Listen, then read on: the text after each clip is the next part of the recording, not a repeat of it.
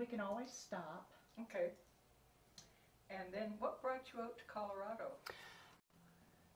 Well, the question is what brought my grandparents out here. My grandfather had hay fever, so he and my grandmother and my father, who was eight at the time, Oh, see, sought relief from hay fever. I always think, thank God they had hay mm-hmm. fever. I've my father and my grandfather, before there were shots. So the, the way one dealt with it was to try to go to a place that didn't have plants that produced hay fever. And of course, the mountains, a dry climate, was that kind of place. They first went to Colorado Springs, stayed at a hotel in Manitou Springs that had bed bugs. So they tried then this place they'd heard of at Estes Park uh, in 1910, which is five years before it became a national park. So this is actually the year in which I can say they first came here 100 years ago. Uh, they they were from St. Louis, and if you've ever been to St. Louis in the summer, you would know why they would want to come out here hay fever or not. So that became the routine. Uh, my father met my mother, who was also from St. Louis, staying at the Crags Hotel in Estes. She was a horse rider, poor lady, because she married into a family that hiked and mountain climbed, and she didn't, after she married, she didn't do much horse riding. But they did meet out here and decided they didn't want a formal St. Louis wedding, which is what it would have been. So they were married at the Community Church of the Rockies in Estes Park. Oh. And they had their wedding reception uh, provided by Mrs. Joe Mills. Now, Joe Mills was the brother of Enos, and they, they did not get along. Uh, uh, Joe and his wife Ethel ran the Crags Hotel, and they spent their wedding night at the Stanley Hotel. So, uh, my roots, and they still had hay fever, and then there was another factor if you had a kid, uh, which was polio. The polio vaccine didn't come into being really until the 50s. And so from the age of two on, I spent my whole summer out here. Hmm. And this continued. And it was a pattern for a number of families who lived in hot climates hmm. like Nebraska, Kansas, Missouri, Texas. They would the the mothers would stay with the kids up in the mountains, and we stayed various places. Finally, settling on Meeker Park, which was pretty primitive. Wood stove, kerosene lamps, because the electricity hadn't come that far, and uh, when World War II started, uh, modest and and there were families who would come summer after summer. So it was it was like two different lives. My formal life in St. Louis, the city life in the winter months, and then this extraordinary freedom and because parents weren't were worried about the things I think that parents are so worried about now, and and that and so I had a remarkably uh, a remarkable freedom for for a young woman, as did my friends. Could I interrupt just one moment because uh, the Carnegie, what the information they gave me was that um, you're supposed to give the date and announce that you're the your name, you're the interviewer, and, and then introduce. Janet, Uh-huh. and um, I guess say it's you're uh, interviewing Janet for the Carnegie. Somebody did tell me that somewhere too. So I should give the date Right. and her name, my name? Your name, because they, well, they need to record who, Oh, who the okay, okay, interviewer was. All right. Um, This is Janet Robertson. We're in Boulder, Colorado. The date is March the fourth of two thousand and three? Ten. 2010, okay. Do you want me to start over again? No, that's, Okay. that's fine. Um, and what I'll do is, it's supposed to be at the front, so I will edit this so that this appears at the front. The wonders of editing. Yes. Okay, so I'm sorry to disturb, but I, I know they wanted that, that Yeah, I information. I, I do remember somebody saying that, but I, I'd forgotten about it. Okay. All right, we're ready. So she should just go ahead? You should just, yeah, she can go ahead, or she, I, I can't quite remember, but I, I was just saying that uh, that polio was a real factor, and so there's there was I grew up with this extraordinary community of of friends. We would even visit the families in the winter occasionally, um, and it it was a whole special world. Of course, I took it for granted, but as an adult, I realized how special it was. Fortunate you were, yeah. We would hike together, and yes, we would rent horses occasionally, two fifty an hour.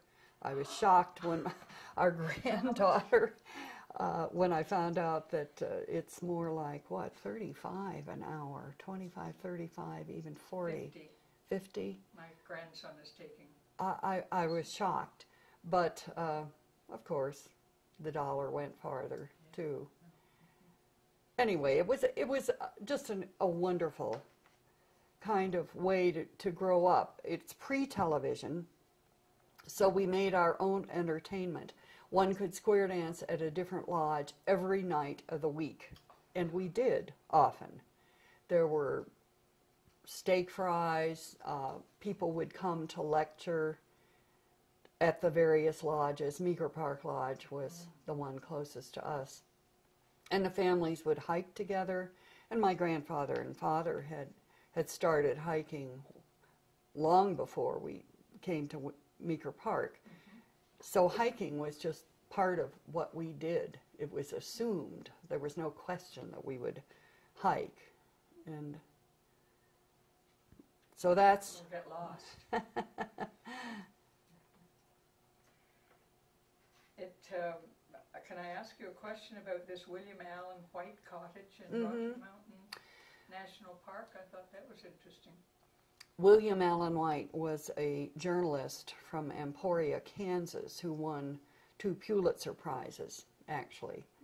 And as a child, I remember reading, what I remember reading was his obituary when his young college age daughter died, and I think it was in a horse riding accident.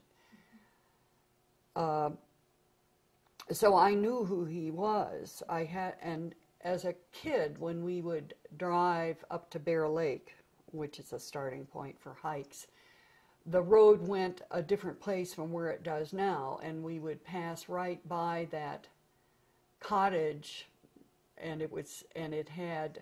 Uh, when I was growing up, he he no longer owned it. It was owned by the park, Rocky Mountain National Park. There was a sign that said William Allen White, so I, I was aware that he had this summer place, but it wasn't until much later when I stayed there and read his biography that I found out he hobnobbed with the prominent political figures of his day. He had come out here as a boy, and if you look at pictures of him, he was a rather plump man, but he'd actually managed to struggle up Long's Peak. So, when Rocky Mountain National Park started its artist in residence program, and it was one of the early national parks to do so, I was delighted to to participate and be one of those artists in residence the first summer they had it, which I believe was 1984. Certainly, it was approximately that. Um, I got, I had written for High Country News, which is a newspaper that comes out even now, and I, I sold photographs there. Actually, the park people had asked um, uh, Betsy Marston, who with her husband ran High Country News, if she wanted to be an artist in residence. But it wasn't convenient that first summer, so she asked me if I wanted to. Well, I, I could hardly believe my, my good fortune. At that time, one stayed for one week. I think now it's more typical to stay for two weeks. But this was the first summer. So that, that uh, was uh, heady in one way, but it had its disadvantages in that uh, when I would go to bed at night, I would hear critters. They'd be running on the floor, and then they were somehow running above my head in a crawl space, and then they were also on the roof. So it was a very noisy place, but in spite of that, it was it was just amazing. I could hardly believe that I was staying in the cottage where William Allen White had stayed. He had a writing cottage behind the main one, but that had not been renovated as the main cottage had. And you have several published works here that I'm very impressed with. So that's kept you busy for the last twenty years practically. Yeah, really more than 20. When my kids left, I got serious about writing, which I'd always loved to do. Mm-hmm. But raising three kids, all pretty close together, preoccupied me. Yeah, and the one about Rocky Mount, or not Rocky, Magnificent Mountain Women. That seemed to be, and who was this Betsy Partridge? Uh, so you were talking about two different books. Uh, Magnificent Mountain Women was published actually 20 years ago by the University of Nebraska Press. I was inspired to do it because I, I had hiked and climbed a lot and rarely saw women on their own doing these activities. That's completely changed now, I'm happy to say.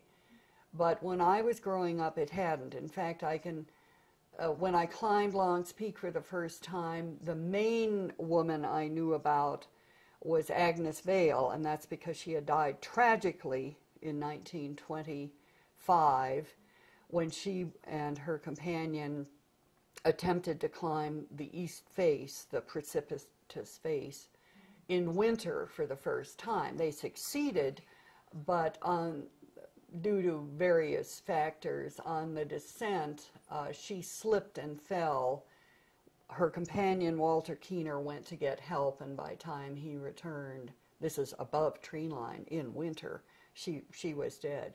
So there's a memorial there, and that's what I knew. That was kind of the woman I knew about. I also met two Cheley counselors on their day off once when my father and I and, and a couple of boys were were climbing with ropes on Notch Top and Cheley Camp, the famous Cheley Camp near Estes Park, ha- was certainly responsible, for, I now know, for producing some uh, very self-sufficient mountain women. Anyway, I was approached by Ruth Wright, a former congressman woman, uh, about doing a book to honor her mother. And I was in the beginning of doing research about women for a, a, a magazine. So I persuaded Ruth to uh, let me do a, a book about women who had a connection with the mountains, initiated by themselves, but, but certainly uh, with the support of men, I hasten to add. But basically, not uh, women who we thought of just because they were the wives or daughters or sisters of prominent men of the day. I was amazed at the number of women I came up with. And one of the pleasures was interviewing them all over Colorado. Most of them are dead now, so it's as if I, I caught them at the right time. They were they were in their 80s, and they weren't necessarily the subjects, but they had known the subjects well. Because of that, I, I became quite familiar with Betsy Cowles Partridge. That was her last name. Um, when she, with her second marriage, she married General Earl Partridge, who was one of the heads of NORAD. It was a Canadian head and an American. And found her an absolutely fascinating and, and virtually unknown woman. In fact, most most of the women I wrote about in Magnificent Mountain Women were virtually unknown. So I decided Betsy, who'd left a lot of good writing about mountain climbing behind, she was dead at the time I wrote it, uh, I decided was a worthy subject by herself. So I wrote her biography. Mm-hmm. And there's, you then became interested in mountaineering in other places than just Colorado. Well, our kids were growing up, and so I'd met my husband. He'd been my rock climbing instructor. So that that was one of the things that we is one of the things that we've done together. We've skied and, and climbed and backpacked and and still are doing that. Not rock climbing, I might add. Um, and so with the kids gone, we then had the leisure to to go literally all over the world. Yeah, I noticed this um, Mount Katmai, Katmai. Katmai. That's, well, that's in America. hmm guess. Alaska.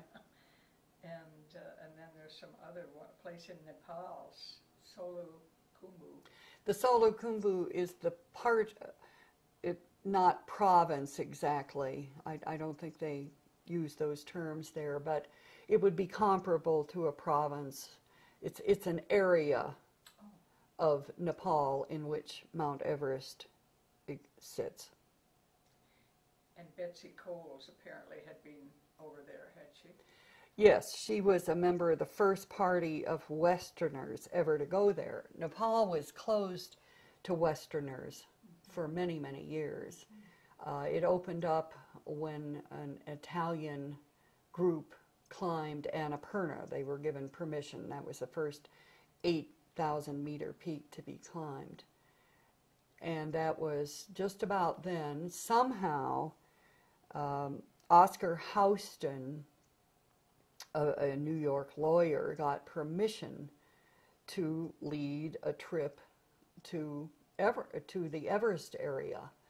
Even his son, whom I interviewed, Char- Charles Houston, a doctor who died several months ago, didn't know how his father obtained this permission. It was quite extraordinary, actually, that he did. So he asked Betsy Cowles um, to go, and Charlie Houston ended up going, and a very famous British mountaineer, H.W. Tilman, ended up going, and a Jesuit priest, Anderson Bakewell, who turned out to be from St. Louis, although I didn't know him then. I interviewed him since when he was in Santa Fe and retired. Uh, so it and and Betsy was such a good writer, and she was a very good photographer. So I had great material to work with. Then in 1993, we and some friends retraced her route, which was a bit different from the way people go into the Solu Kumbu today. They fly to a town called Lukla. Well, there were there was no airport there. In fact, the airport in in the capital city, Kathmandu, opened after their trek was over. So that's 1950 when the first commercial airport appeared. So they had to walk a lot farther. They couldn't simply uh, fly into Lukla the way tourists and climbers do today. So that it was fascinating. And you went to Africa and, and Georgia and Russia. Oh, Tibet, it says also. Yeah. So you've been all over the world hmm where there were high built, high mountains. As Dave said, we seem to go to places that look like Colorado. We're not tropical people. Yeah. What was the trek, the eight day trek with the Norwegian Mountain Club? Oh, that was in the Rondane Mountains of Norway, and it was perfectly delightful. And a lot of this has to do with Norway is a beautiful country, and Norwegians are generally lovely people. We'd, we'd been to Norway before uh, in 1970 and not been back until we went on this, this trip with our friends Margot and Chris Brauckley, with whom we've traveled many places. We climbed Kilimanjaro together and Mount Elbrus, and we've just been all over the world with Margot and Chris. And there's Torridon Mountains in northern Scotland. And we were again with Margot and Chris. Couldn't find them on the map, but I found the city of Torridon. This was uh, in northern Scotland, and the the web the internet has certainly enabled one to tie into trips that it used to be a lot harder to locate. This one started and ended at uh, the Rua Reidh Lighthouse. So we spent the first night and, and really uh, the, the, se- the last night there. I've never hiked in so much rain, although when we went to Iceland, there was a lot of rain there. Uh, the the two women who ran this B and B in what had been a a lighthouse that was in use would uh, provide an itinerary, and and the instructions would be. They, started us off, and and we drove in a car. The instructions would be like. Uh, go down to the beach and then you'll come to a stile and go through that and go up 300 yards and you'll find a path so they were it it was a, a wonderful wonderful experience despite the amazing amount of rain What surprised me about Scotland was how small their hills were. I didn't want to tell them that ours were thirteen thousand. but i have to say they're pretty darn rugged too That's beautiful. And there was another place, uh, oh, Peru. There are two high mountains there that you went down to? yeah we didn't climb the mountains but we did a trek that got as high probably as 17 or 18,000 and and we went to Machu Picchu. Uh, this was for our 25th wedding anniversary, and it was a wonderful trip. In contrast to to Iceland and Scotland, we had not a drop of rain, and it was an organized uh, trek. Great fun. And what about your um, work with the Colorado Mountain Club? Sounds like you've been quite active with them. Yes, I've been very active with them. My father joined and I uh, in 1952 because in those days, if you wanted to climb mountains over 14,000 feet, it was really hard to find out how to do it unless you knew someone had, who had done it. The Colorado Mountain Club had a lot of people who had done 14ers. They were not nearly so accessible as they are now either. There, was almost there there was a bit of literature about them, but it wasn't. Now there are videos about how to climb the peaks and numerous guidebooks. So that was really my father's reason for joining. He decided he wanted to climb the 54 peaks that are over 14,000, and I I loved to go hiking with him. So that's what led us to join and that's why I feel it's uh, it's just been part of my life and David's life. We actually met because he was a rock climbing instructor for a Colorado Mountain Club Boulder group school. Then he worked for Alice and Roy Holubar, and they were prominent CMC members and became good friends of ours and of my parents. So the club has been so intertwined with our lives that it was a pleasure to serve on boards such as the Colorado Mountain Club Foundation. And you have climbed all of the peaks in Colorado over 14,000. Mhm. Wow. That must have been quite a. I started when I was young and didn't have a particular desire to do it.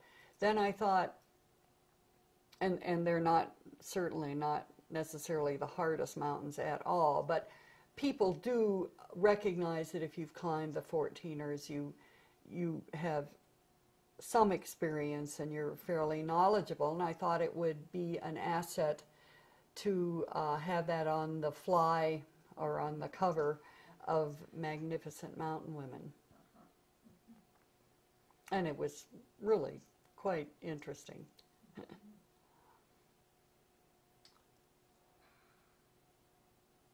And you've climbed Kilimanjaro Mm-hmm. in Africa, so you've been all around the world, Mm-hmm.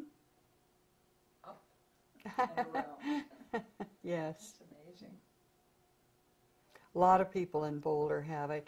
Uh, in fact, people who travel remark on how they'll be in some godforsaken place and they'll talk to an American next to them, and it turns out the American's from Boulder. I mean, this has happened to all of us a fair amount.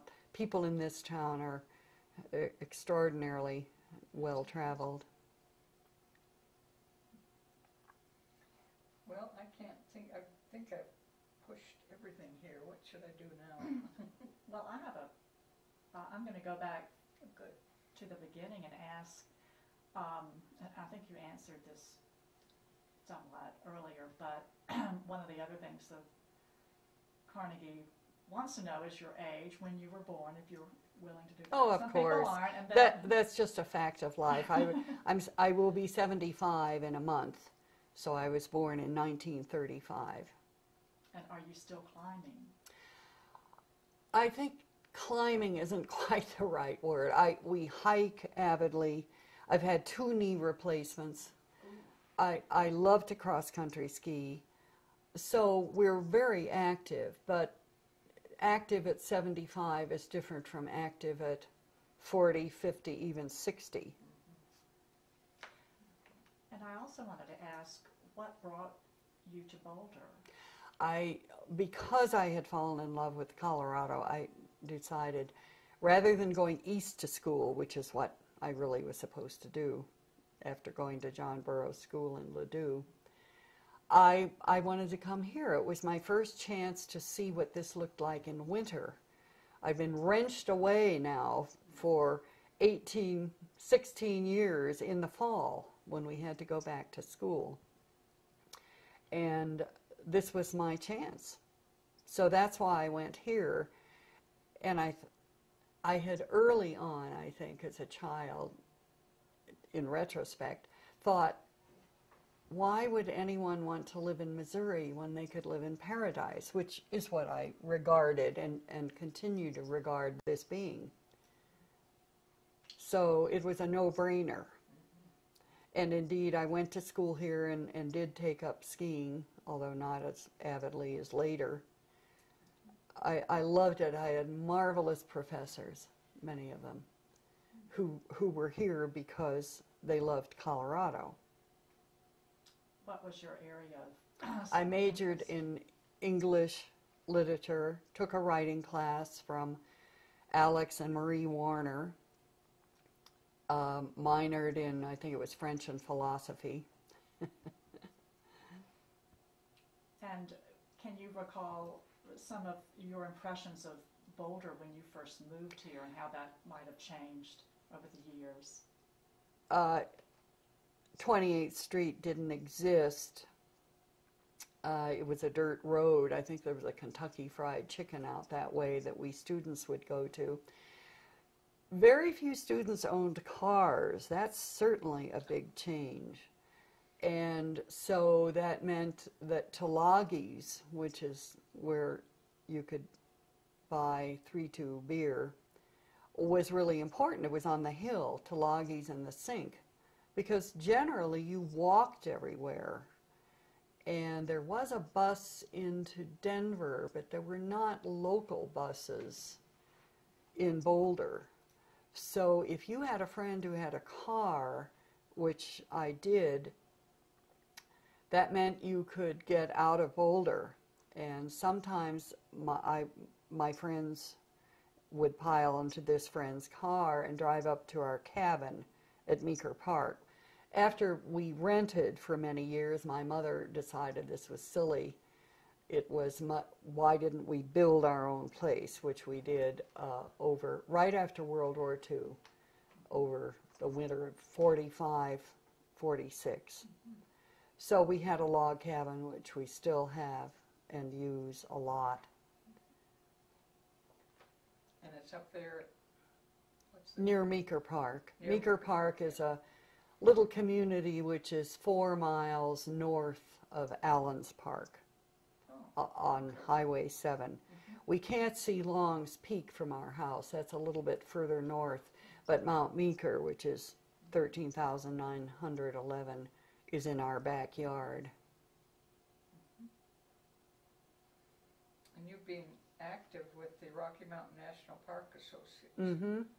When I was going to have knee replacements, I got off my boards, which were the CMC Foundation, the Rocky Mountain Nature Association, which was then had split into two parts, and I was chair of the part that eventually folded back into the association, and the CU Museum Advisory Board. I was active with that. And what about this committee that uh, put together a traveling photographic exhibit about Colorado women? Did you, is that? I, I was one of the committee members, Yeah. and that was in connection with my being on the CU Museum Mhm. board. Good. Well, let's see. I have another. Yeah, go ahead. It sounds like that you are, you've been very um, active in promoting women and bringing Mhm. women into the 20, 21st century. Could you describe how that began and what kinds of things that you did other than rock climbing or in addition to rock climbing? Well, rock, you know, rock climbing was was a big one because there were not many women at all. I did RMR started in I think it was 46 and Roy Holubar, our friend who had the equipment store was one of the founders of it. I joined RMR, although I must say when I, I went out on, on some mission, as they call it, that involved a small plane wreck with two corpses in it still, I realized I was not mm, cut out for RMR, not that part of it, going on the missions.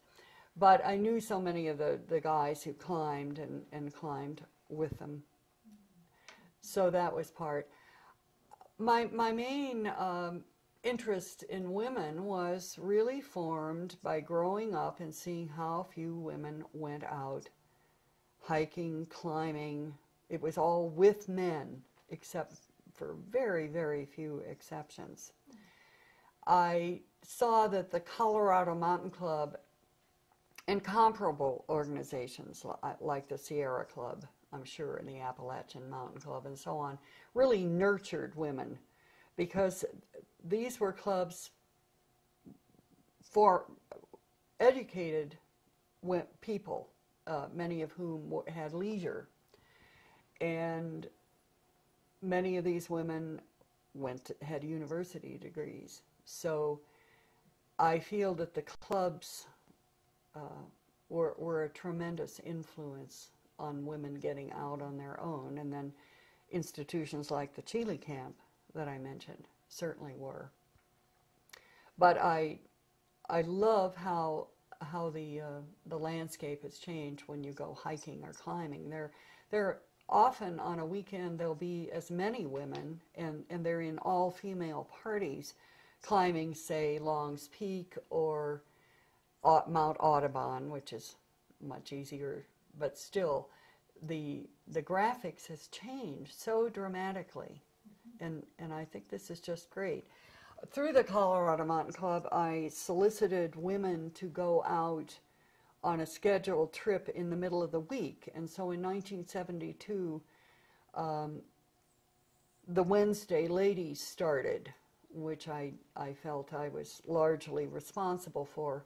It was actually another Colorado Mountain Club man who suggested it when I would come into the Boulder Group CMC meetings and say I'm tired today because I had been out with some female friends who had kids, and we would get out while the kids were in school.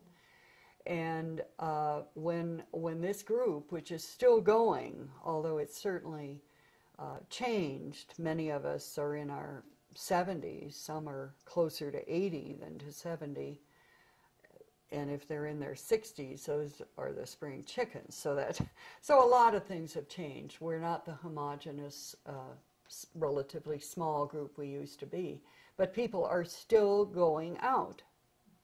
Not as high, not as far.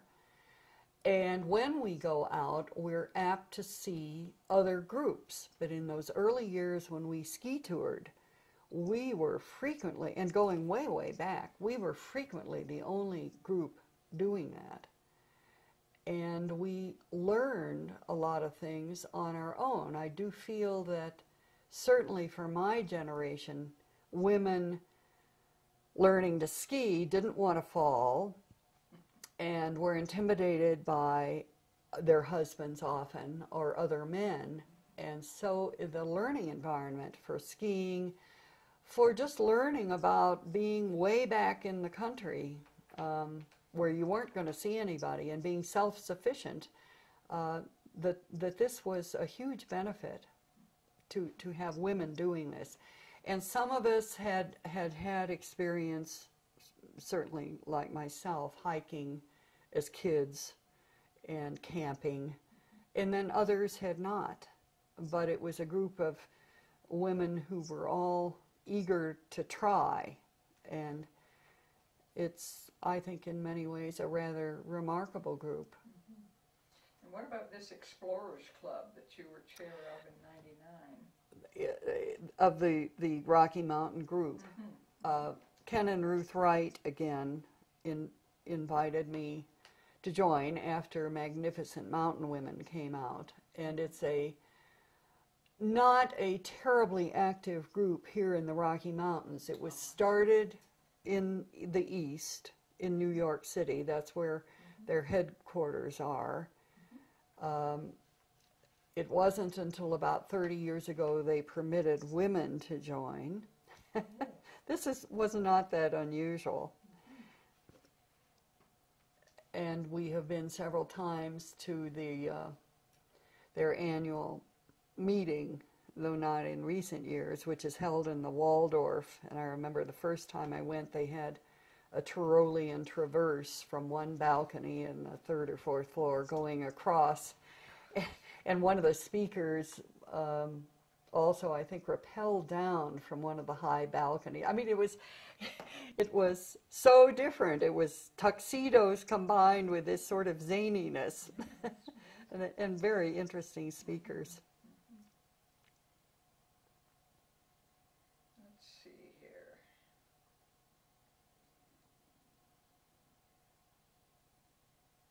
We've had that, what have I not brought up, or you haven't brought up, or you haven't brought up? Well, I uh, wanted to find out about uh, your house and when you moved here and what you might know about it, since it, uh, I'm not sure if it's in the Mapleton Hill Historic District or listed individually. Yeah, I don't, I don't, I can't remember if we list, I, I, I'm not really sure. We have never initiated anything, but I think it is in the district. Uh, I, I, did research on it once when one of our kids had a project uh, at Mapleton School. All three of our children went to Mapleton School, which alas has sat empty now for a number of years. Uh, it's on, yeah, on Mapleton and it's, it's west of Ninth Street. A wonderful, wonderful school. Um, so we, I did research and at that time one could access the county records pretty easily. I, I think that's not the case now, but I mean, I could look at the actual deed. And the way one told, uh, could tell that a house had been erected on the lot is that the taxes went up. So based on that, which, which is sort of an indirect way, certainly, but based on that, we figured this was built in 1876, which for Boulder is quite early. It was built by a man named Squires and his father-in-law, uh, and I can't think of the name of the what is called the oldest house in Boulder. It's on Spruce Street, and and it's named after his father-in-law. And I, I simply the name eludes me. Anyway, so so we have reason to believe it. And and he, uh, Mr. Squires, apparently sold lots in this general area. So it, it was really one of the early houses. Uh, the alley just to uh, the west of us was platted as 10th Street and never put through. And in fact, it abuts a, an east-west alley just uh, on, on the north side of our lot, which in turn is right next to the farmer's ditch. And then you have Mapleton Hill, which is a real hill. So I don't know why it was even platted as 10th Street. It's not a practical way to have the street. We're lucky that it's remained an alley rather than a street because we it serves as our driveway and we have uh, a, a garage here uh, just adjacent to that wall. Some a few people in the area that have a garage attached to their house in the Mapleton Hill district. And, and the, the stream that's up there, is that That's the farmer the farmer's ditch. oh, the farmer's They did it ditch. Yeah, farmer's one- ditch. one of the- I see, I wondered about One that. of the we now know hundred ditches or so from that great exhibit they had at the library last summer. Is there a pathway if people? Well, it's an alley. Oh, okay. You see, it, it's an alley in back of the houses where I used to walk our dog when we had one. So it's an old house. This was the garage. You see that brick wall? There was a, a, a rather tacky stucco one car garage that was attached to this house when we moved in oh, Amazing. and then eventually it was transformed into my office and my dark room. I used to do a lot of black and white photography. S we've been working on the house sort of ever since we bought it in 1963 for an appallingly small price. because such houses were not in demand then. There were new subdivisions at Table Mesa going in, and those were much more desirable then. Not the case now, but we've sure enjoyed it. So you mentioned your photography, your dark room. Could you tell Mhm. us uh, your um, how you learned photography and what? Yeah, I, I took an adult education class with a friend. Uh, I'd never done any black and white. I'd, I'd taken color slides ever since I was about 16, and my parents took slides, so that was very much a part of our family is taking pictures. But I I really ha- was beginning to become very attracted to black and white photography. Um, Are these your pictures Mhm, here? Yes, although that's my granddaughter, those are our grandkids on the bottom one, and those are not pictures that I took. But um, I just thought that black and white rendered the mountains in a way that made one look at detail somehow rather than color. I, I like color too, but I really fell in love with black and white and had, had this great adult education class in it. Wonderful. This picture with all these people in it, what was that? That was my mother's class from a woman's college in St. Charles, Missouri called Lindenwood. Um, Isn't that wonderful? and I, it was not framed when I we found the photo after my mother died, but I thought this is a great photograph. They don't do it this way anymore. And in fact, I I was scrutinizing it uh, recently, and I found a, that a man in the front is holding a little dog, and I thought this is probably the president, and maybe it's the the mascot. I mean, I know nothing about it, but I've never seen a college picture where somebody who looks prominent is is holding a dog. Did you do this one with the bears in it? yes, that's in Katmai National. I think it was. Scary. I think it's now a national park. It was a national monument when I took that. I'm not clear on that. Uh, but it was taken from a very safe vantage point Oh, in which which was erected when the then head of the Department of Interior, not entirely a popular man among uh, environmentalists, was going to visit, and the uh, Park Service figured that no matter what their personal feelings, and I, I gleaned this from one of the rangers we chatted with, they better make sure that no harm came to James Watt.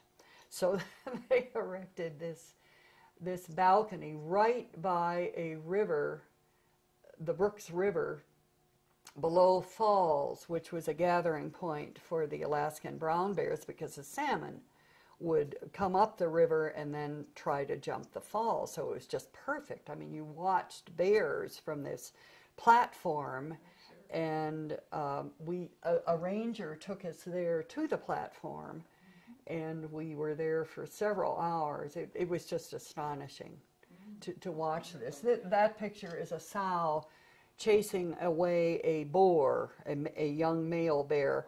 And I'm sorry I didn't get her cub in the picture, but the boars will try to kill the cubs.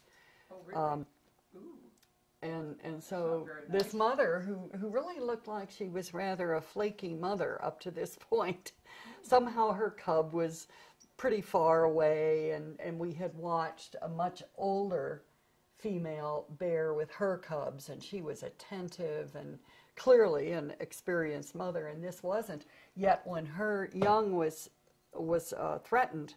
She suddenly all her right instincts came in knew what to into do. the fore. And and you know i never could have gotten this photograph if i hadn't been in, in a safe place.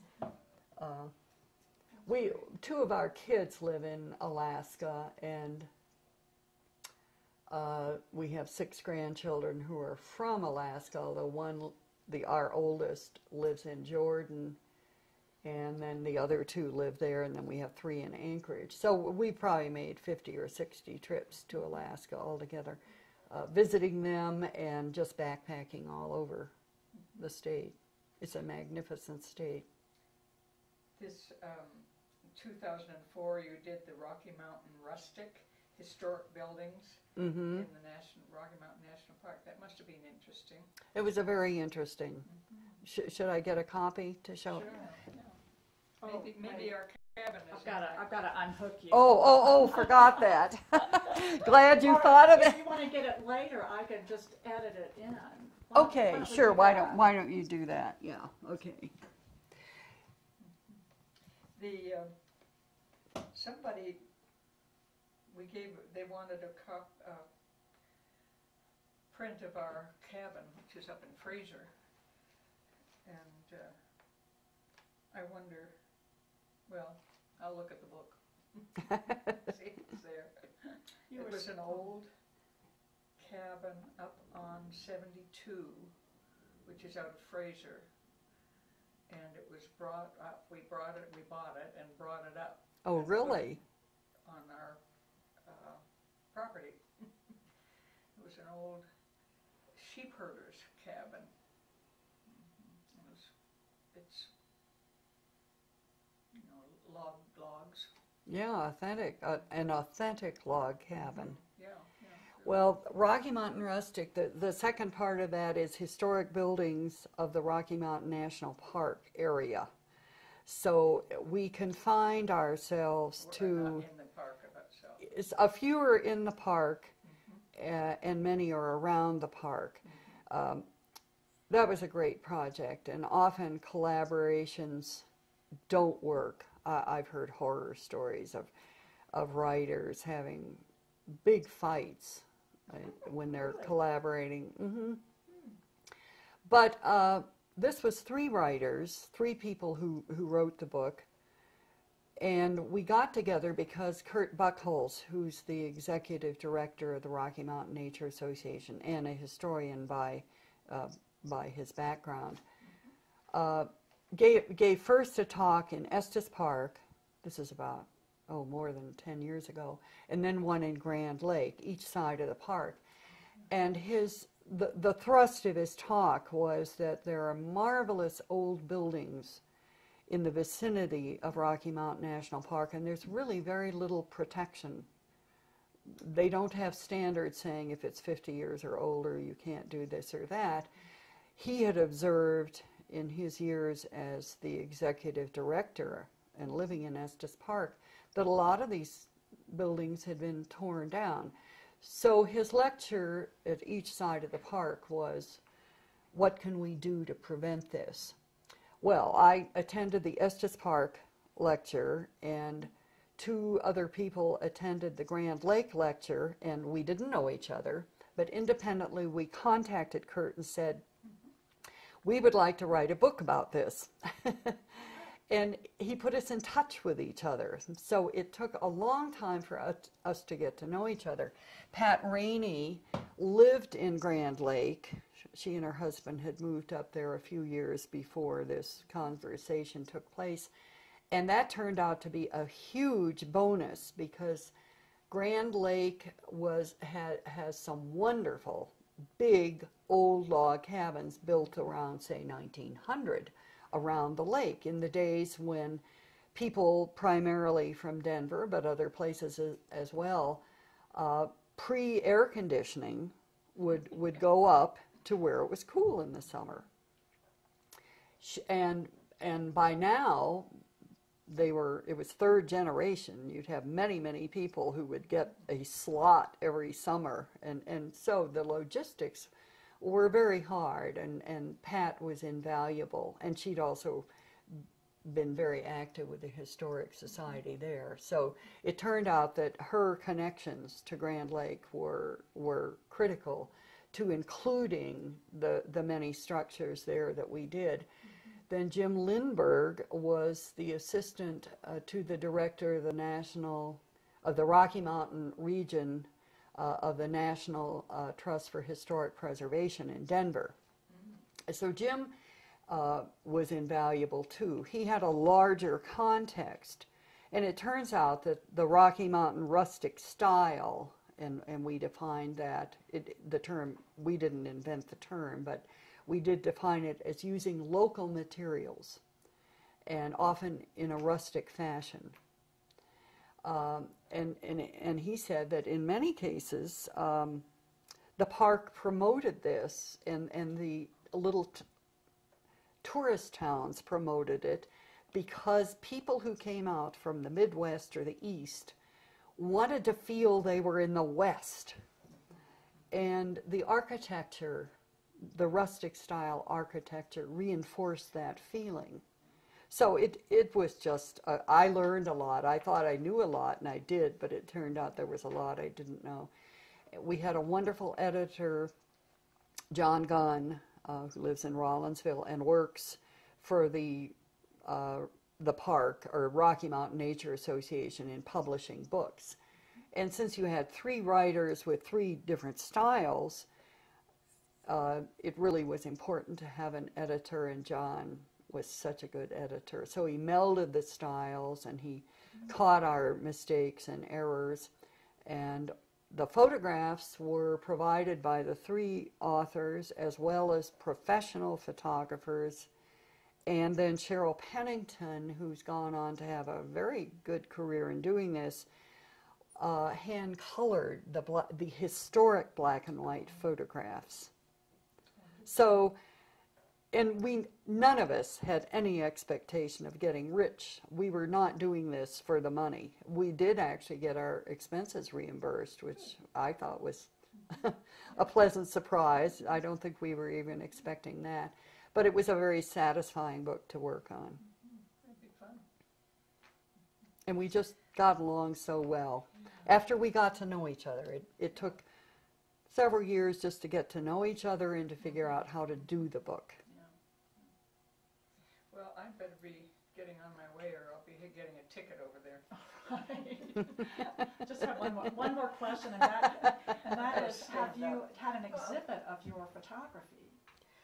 I did have um, an exhibit at before the Boulder Public Library was renovated of my black. I, I've had two there actually. One of Peru, uh, of our trip there, because I, I had a Hasselblad, and so I've, I've taken black and white and color, and and then another exhibit was about East Portal. East Portal is refers to the East Portal of the Moffat Tunnel, and uh, a favorite of ski tours. And there at the time and the reason I, I wanted to have the exhibit was uh, there were problems with people using private land and what was going to happen to it, and the owner was nervous about liability with all the skiers going up there. And uh, eventually this was resolved by a trading of, of the land. And so at one point, the owner was he didn't close it off, but he he had it run by another outfit to collect tickets and so on, and and it was just a big question mark. And at that time in the 70s, it was becoming ever more popular for cross country ski tours. So that's why I had that exhibit. And uh, in fact, it was resolved, and it's a very. Have you ever been there? Are you a skier? Not anymore. Um, it, it's just a very popular area. It- Where is this? well, it's west of Rollinsville. That's too far west for me. As I say, it's the west side of the Moffat Tunnel, and if you take the, the train through the tunnel, you end up at Winter Park. So it's just the east portal of that. We're just west of Winter Park, the town, and, and we're just east of Fraser. Uh huh. Well, it sounds like a. Do you use it? Or you, your I daughter? didn't up there last year at all, the kids were up, but, uh, doesn't have, we don't have any water. We do have electricity, and, uh, it's just not the most convenient place for me to be. Mm-hmm. Mm-hmm. Yeah, I'll that's get up there this year. that's really roughing it. Yeah, it is. It was wonderful when we were all young. Mm-hmm.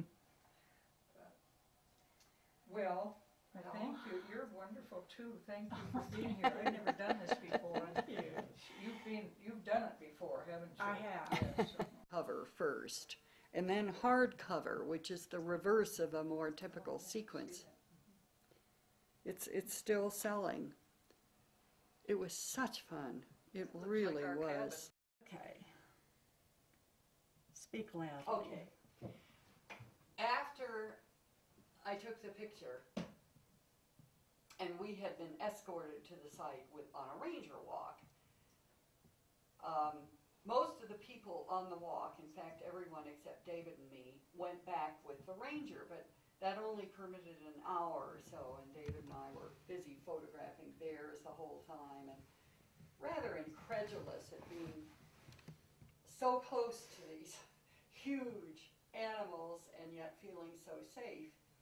So finally, and David had brought his fishing rod, although in the end we just photographed bears. That was a lot more fun than fishing. So finally, the two of us started back uh, on our own. That is, without there were people around, but we we started out, and there were two very tall guys who it turned out were from New York City, who asked if they could go with us. They had been dropped off by a guide on the lake where we were staying, and there were there were various fishing camps all along, all around Naknek Lake. So we said sure. So we started out, and